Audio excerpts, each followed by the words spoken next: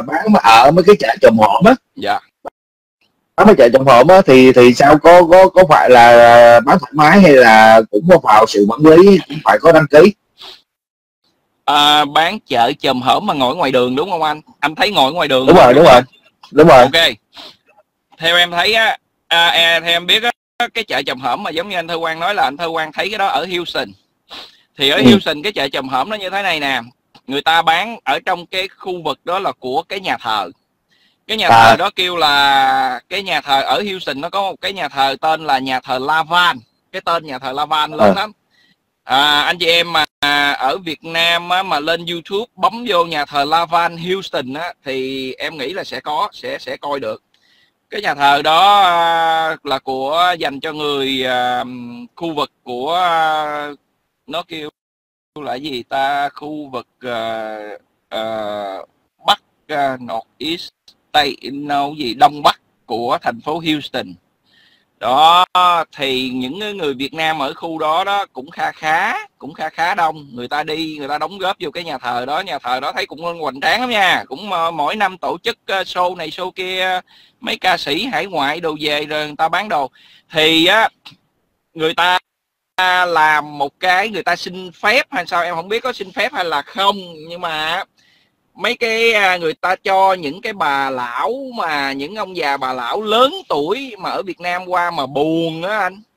Cái người ta ừ. nhà người ta trồng trọt bầu bí hay là rau riết gì đó cái là người ta ra đó người ta bán chỉ có hình như là một hai ba tiếng gì thôi mỗi sáng chủ nhật mỗi sáng à giống như giống như là, là bên mình giống như Việt Nam mình ta gọi là họp chợ phiên đó đúng không dạ dạ dạ dạ. Mà chỉ có một tuần là ngày chủ nhật thôi nghe. Một ngày thôi. Có sáng chỉ một ngày thôi một ngày thôi. À. chỉ có sáng chủ nhật thôi.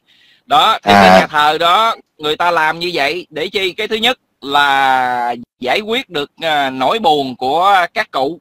Các cụ à. ở nhà à, nguyên một tuần lễ con cái đủ đi làm hết trơn nó bỏ các cụ ở nhà. Buồn quá rồi thì mấy cụ ở nhà mới trồng rau trồng cỏ trồng rau rác gì ở ngoài sau hè nhà vườn nhà mình rồi bác ừ. nào có cái gì đó thì à, cụ nào có rau trái dưa trái bí trái gì đó thì chờ tới ngày chủ nhật đó ra đó bán. Hình như là chợ bắt đầu từ 7 giờ sáng cho tới à, 8 9 giờ gì đó thì chợ sẽ ngưng.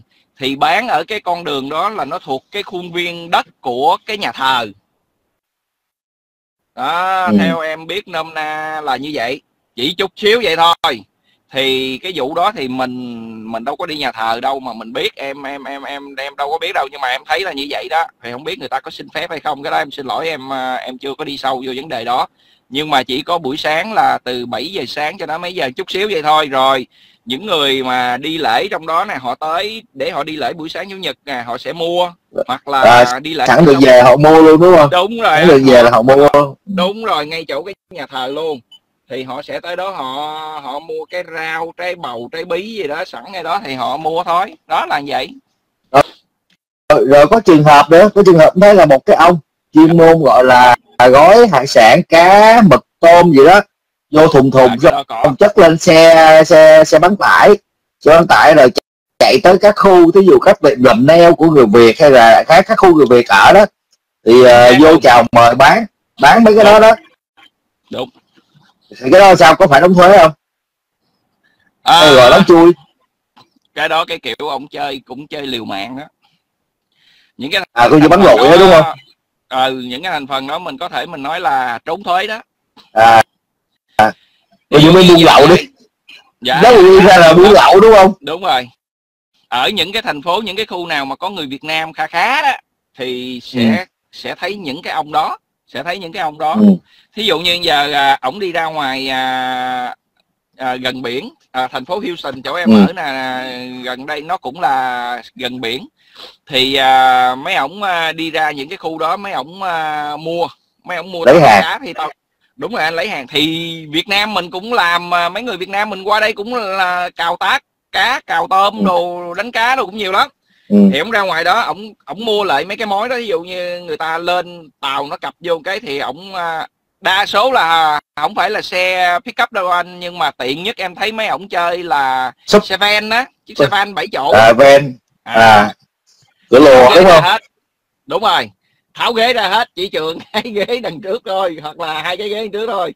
Còn hai cái băng sau là gỡ ra hết rồi bắt đầu để ừ. mấy cái thùng nhựa mấy cái thùng nhựa mà có cái nắp đậy đàng hoàng ở mỹ này nó kêu là mấy cái thùng đó là mấy cái thùng cooler mấy cái thùng đó để dành thí dụ mình đi đâu xa mình bỏ một chút nước đá vô mình để đồ ăn hay ừ. gì trong đó nó đừng có bị hư thì mấy ổng sẽ chơi ừ. những cái thùng đó cái size nó hơi bự bự tí xíu to to một chút đó, nhét vô thì bắt đầu mấy ổng mới à, đi ra ngoài à, bến tàu á mấy ổng mua thí dụ như à, một hai chừng năm bảy chục ký tôm à, vài chục ký cá này cá nọ ổng nhắm coi cái người dân Việt Nam đồ thích cái loại nào đó là ổng gom vô thứ thứ chơi vô thùng đó bắt đầu ổng đóng chiếc xe ven lại kính mít ừ. xe ven chạy bình thường thì cứ nghĩ là xe ven uh, của người dân bình thường thôi đâu có tên tuổi gì đâu à. à, bắt đầu anh mới chơi vô mấy cái tiệm neo nè ha mấy cái tiệm dân Việt Nam làm neo ha à, vô trong đó thì sẽ có nhiều chị nhiều chị nhiều anh đâu này kia à, bắt đầu đi vô gõ cửa đi vô à, em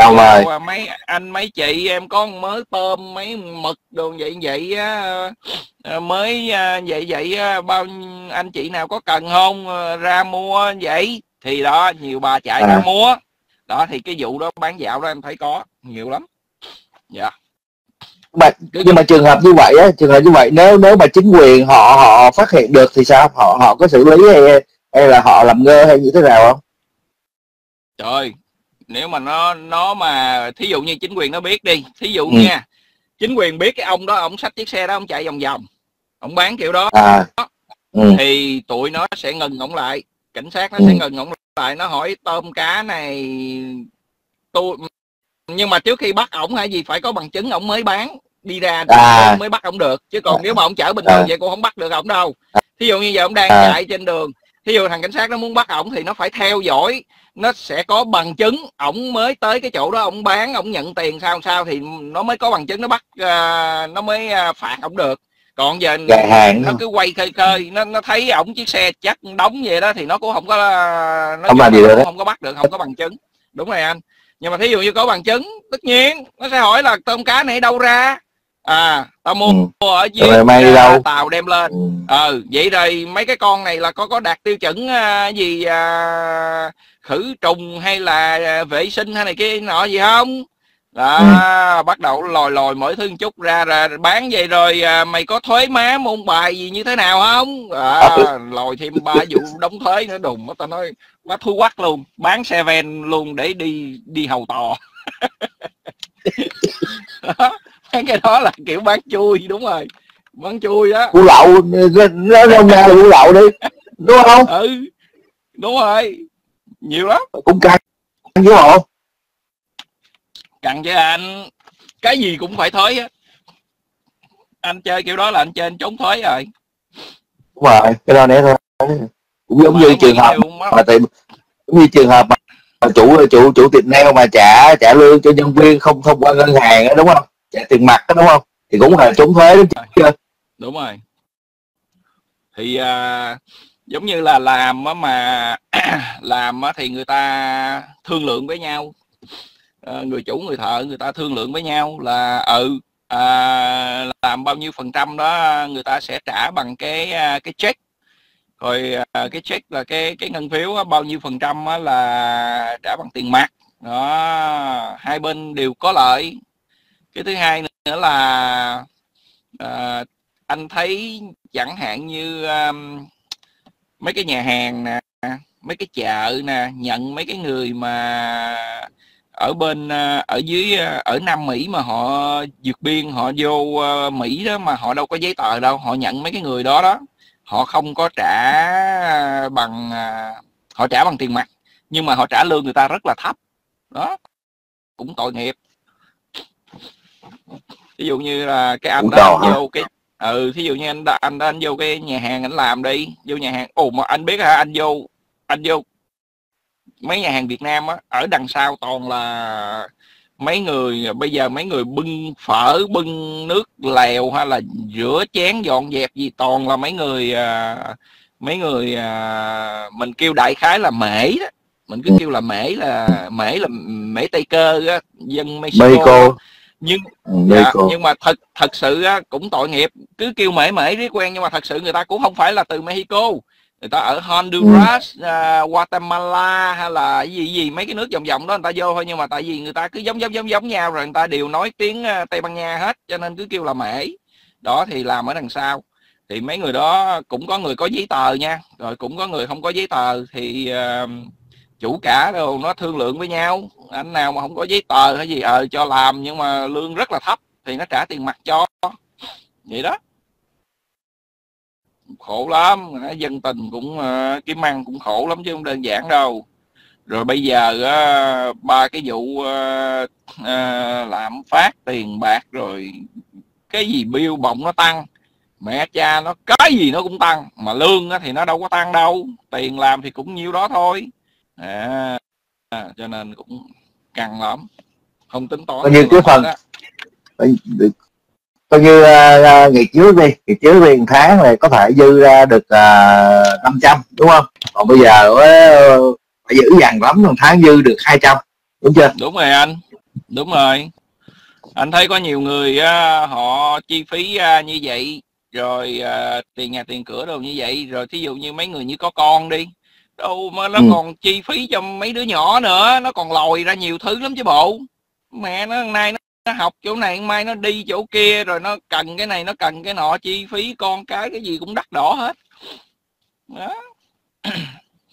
Chùa chát. Không cho bộ đúng không? Ừ, đi bộ cũng được nữa. Ồ, bữa bữa vì ra có coi cái cái cái, cái live review ờ, đi đi ăn hải sản không? Đi ăn hải sản hình như có em có thấy ở Việt Nam ừ. khổ vậy đồ ăn đồ đông lạnh không? Chứ làm Rồi. gì có thể có đồ ăn đồ, đồ tươi. Trời ơi sáng ờ, nào gọi điện thoại về thấy nhìn nhìn camera nhà ở bên Việt Nam bà già đi chợ mỗi ngày. Ừ, sáng nào cũng đi chợ hỏi già Ô, mẹ đâu? Mẹ mày đi chợ rồi. Chợ biết. Anh biết mấy ngày hôm nay á. Nên mình lan man tí xíu uh, bên Mỹ mấy ngày hôm nay thời tiết nó dập lạnh hả? Nó nó lạnh. Anh biết mấy nghe ở với em là chỉ có lạnh thôi chứ không có tuyết tung khỉ gì hết nha. Nhưng mà ở trên à, à, miền bắc rồi đó nước mỹ ôi trời ơi tuyết nó dập ngược tè tua luôn. Man tuyết mà nó lên tới bụng tới lưng quần á dễ sợ chưa? Rồi... đi chỗ ông cầm đó đúng không? Đi chỗ ông cầm đó đúng không ừ chỗ ổng dã man lắm. Chỗ ổng á mấy bữa nay em thấy á là lạnh là phải khỏi nói rồi. Mà mà à, những cái bang mà cũng gần kế bên á ví dụ như Iowa, Michigan, Wisconsin đồ hay này kia mấy cái bang vòng vòng đó anh biết nó vừa lạnh mà tuyết nó vừa đổ xuống dưới đó đó coi như là ừ. người ta đóng cửa lại hết mấy cái con đường xa lộ á xe mà xe 18 bánh á, nó bay xuống dưới hố nó nằm tao nói quặng quèo rồi thôi. Ô cả mấy chục chiếc nằm thê thảm coi như là nó bị bị tuyết bão tuyết nó dập nó bị trượt đường á, nó bay xuống hố á. Thê thảm luôn. Anh biết nó lạnh mà âm á âm uh, âm sáu mươi mấy độ. Dễ sợ chưa? Có chỗ âm năm mươi mấy bốn mươi mấy độ. U mà nó lạnh vậy á chịu sao nổi trời. Ừ lạnh kinh khủng luôn. Không biết sao nó nó dập. Mà năm vừa rồi nó báo cũng hay á nó nói là à, tại vì mùa hè vừa rồi rất là nóng. Mùa hè nóng ừ. thì nó nói là mùa đông tới tới á, là sẽ rất là lạnh. Ừ không biết sao mà bây giờ nó dập thiệt mà lạnh quá trời quá đất luôn. Cái chỗ em á thì nó không có tuyết nhưng mà nó lạnh nó báo là nó sẽ dưới không độ cho nên rồi chính phủ có uh, rồi chính phủ có có trợ cấp uh, ga điện để cho người dân uh, sửa ấm không?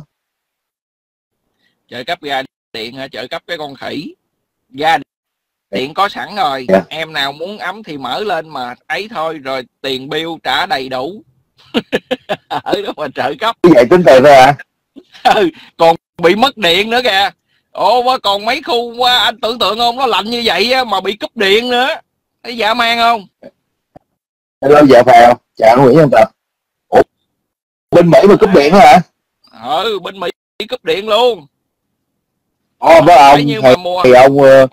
đó không á. Yeah. ừ anh bấm lên đi thì anh thấy liền.